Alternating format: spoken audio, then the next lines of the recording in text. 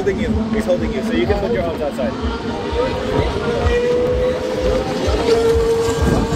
Yes, good job.